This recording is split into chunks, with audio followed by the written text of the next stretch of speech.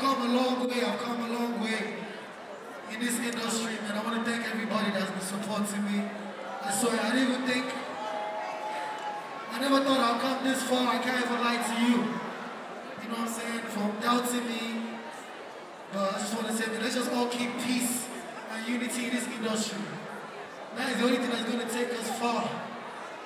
And I'm going to bring two sets of musicians that inspired me to do what I do today.